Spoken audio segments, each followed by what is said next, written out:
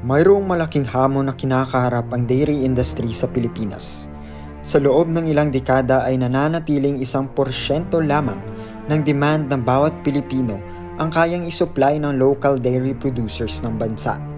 Halos siyam na putsyam ng gatas na mabibili mo ay inaangkat pa sa ibang bansa.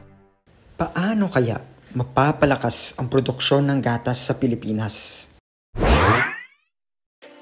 Ako po si John Armand Valdivieso, isang fourth-year vet med student ng UPLB. At ako naman po si Michael Ramirez, third-year BS Economics student ng UPV. Ayon sa PSA, ang Negros ay ang top 1 producer ng Carabao sa buong Pilipinas. Halos lahat dito ay pinapalaki sa backyard farms, ngunit hindi nagagamit bilang gatasang kalabaw. Binuo namin ang lakas gata sa kagustuang tulungan ang ating magsasaka na maitayo ang kanilang sariling Carabao Dairy business na Una, maliit lamang ang kinakailangang capital requirement. Pangalawa, madaling sundan na business plan. At pangatlo, ay patterned ito sa existing good farm practices na recommended ng mga experts. Masasabi natin na kapag malakas ang gatas, siya ring masagana ang ating kita. Sa unang phase ng implementation, naging masusi ang paghahanda ng forage na magsisilbing all year round na pakain sa aming gatasang kalabaw. Pinili namin ang giant na pire dahil mataas ang yield nito. Agad kaming nakipag-ugnayan sa DA Philippine Carabao Center, LGU ng Talisay City at ng DA Region 6 upang humingi ng karagdagang guidance.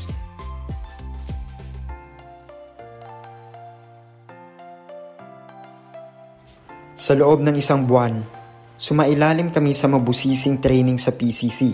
Nagkaroon kami ng licensed AI technician, nakapag-ikot-ikot sa tatlong dairy farms sa Negros, natuto ng iba't ibang milk-based product development opportunities at dumalo sa tatlong online seminar patungkol sa business accreditation, Kaya Loan Program at ang Second Ruminant Forum ng UPLB. Challenge rin po para sa amin ang maghanap ng dairy farms dito sa Negros Island. Kasi kung iisipin po ay nabibilang lamang sa daliri yung mga engaged sa ganitong klaseng enterprise. Hindi pwedeng madaliin ang paggagatas. Kailangan maganda ang breeding at sapat ang pagkain. Naging challenge ito dahil sa unang apat na buwan ay housing at forage development lang ang naging priority namin. Walang production, kaya walang sales sa unang buwan. Ngunit sa kabila nito, sa tulong ng DAPCC, napatunayan na profitable ang lakas gatas. Di tulad ng ibang business model kung saan per cycle ang kita, sa lakas gatas, araw-araw may kikitain kami.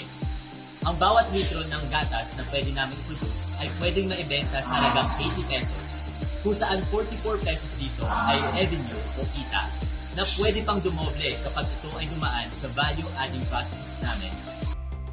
Ang additional funding ay balak po namin gamitin sa value-adding true flavored milk. Introducing Lakas Gatas Flavored Milk. Rosas, Red Velvet Crinkles. Sampagita, Vanilla. Mirasol, Mango Banana. Gumamela, Strawberry. Orchid, ube. Calachuchi, cookies flavored milk. Gusto rin naming i-transform ang enterprise na pagkakitaan ang dumi ng vermicompost na siyang magpapangalaga sa kalusugan, kalikasan at komunidad. Ang total na 250,000 na grant ay gagamitin namin pambili ng gatasang kalabaw, milk processing equipment at milk storage equipment. Hangad namin sa lakas gatas. Sa kahit anong edad, kayo'y may gatas rin sa labi. Hindi man namin kaya na matugunan ang milk crisis gamit ang tatlong kalabaw. Ang goal talaga namin ay empowerment sa Negrosanon farmers. Lakas Aming daladala sa lakas gatas. Lakas gatas. Lakas gatas, gatas na pampalakas.